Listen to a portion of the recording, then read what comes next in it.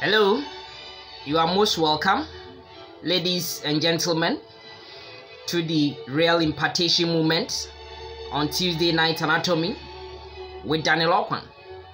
Today's section, we continue our journey looking at muscles of facial expression, and there's a fourth part. Now remember that these muscles form the bulk or the core of what we call the lip as well as you know the cheek, the cheek and therefore I'm going to talk about the orbicularis oris muscle as well as the muscle we call the buccinator muscle. Now remember that these muscles will be supplied by of course the buccal branch of what we call the facial nerve. And so without much ado, let's set the ball rolling and see what I have for you today. So there we are, that muscle over here. Now remember, this muscle, yes, although you see it this way, this muscle have a lot of i mean layers of these fibers okay? Have a lot of strata of these muscle fibers okay? Which of course you find it the orifice of the mouth okay? Covering actually the lip from the bulk of the lip. But remember that these muscles some of them may be running in different fibers.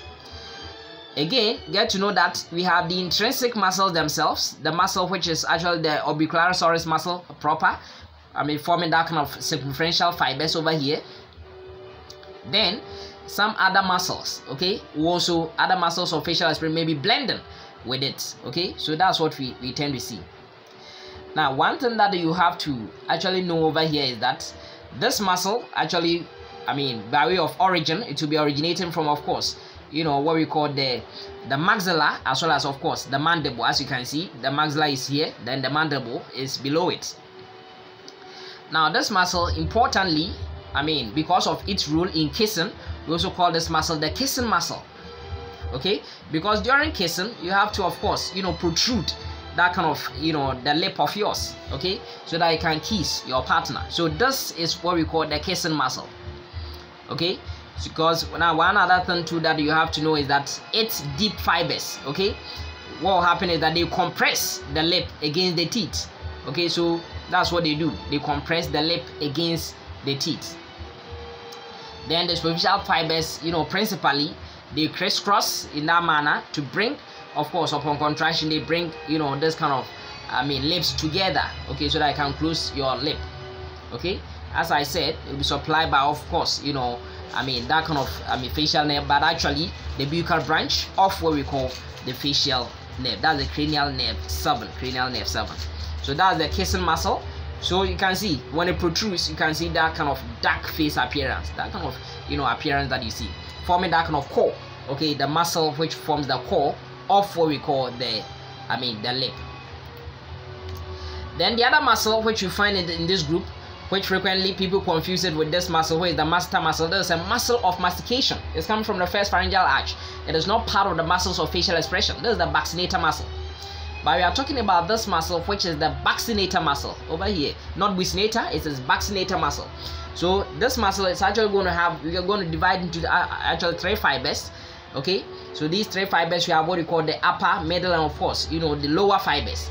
The upper fibers actually will be coming okay from where this area where we have the what we call the uh, you know the i mean the maxilla okay? Opposite what we call the you know upper molar tooth okay from the maxilla actually.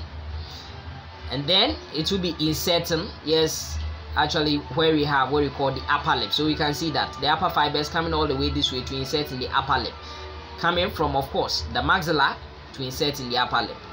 Then the middle fibers okay the middle fibers will be coming from what we call the pterygomandibular raphe okay? We have the pterygomandibular raphe and it will be coming all the way to be inserting okay somewhere you can see around where we have the corner. Okay middle aspect of the corner of the man of the lip. Okay around where we have the modiolus. Okay so that is what we see. Then the lower fibers will be originating from actually the mandible. Okay but actually where? Also opposite to of course the molar tooth. Okay the lower molar tooth. And also be coming to insert at what we call the angle actually of the lower you know lip lip skin over the lower lip so that is that muscle is known as the buccinator muscle. Now this muscle is very important.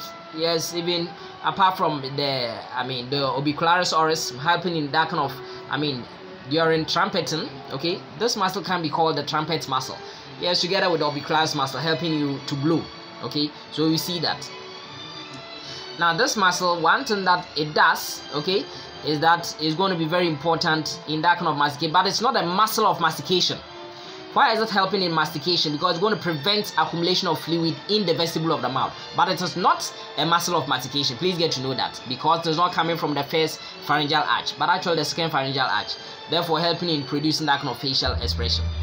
It is also very important in as far as you know forceful expiration is concerned okay?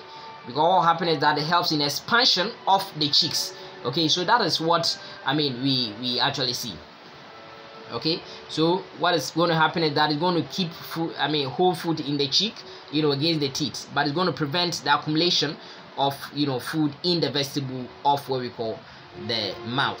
So please get to know that. Now one thing that you have to know an important relation which you should know is that you know the i mean the duct of the parotid gland you know the parotid gland is closely related to it. Its duct okay? We have to run you know i mean superficial to it and then later pierce through it to open at the second upper molar tooth. So that's the relation that i mean you have to know. So there we are upon action. Look at how you know so that's why i'm calling it the trumpet muscle okay helping you so that you can blow air in that manner okay so that you can you know i mean play your that kind of instrument.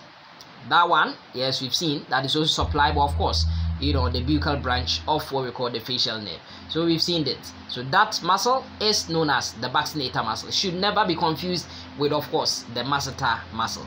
This muscle you know as you can see the fibers run you know almost horizontally okay? But in the case of the masseter muscle it will be running that kind of vertically. Bulk of the fibers will be running vertically. So i hope you find it helpful and that is i mean those two muscles which are important in forming the bulk of the lip being the orbicularis oris as well as forming the bulk of the cheek being of course the baxillary muscle. I'm so grateful for your time this evening.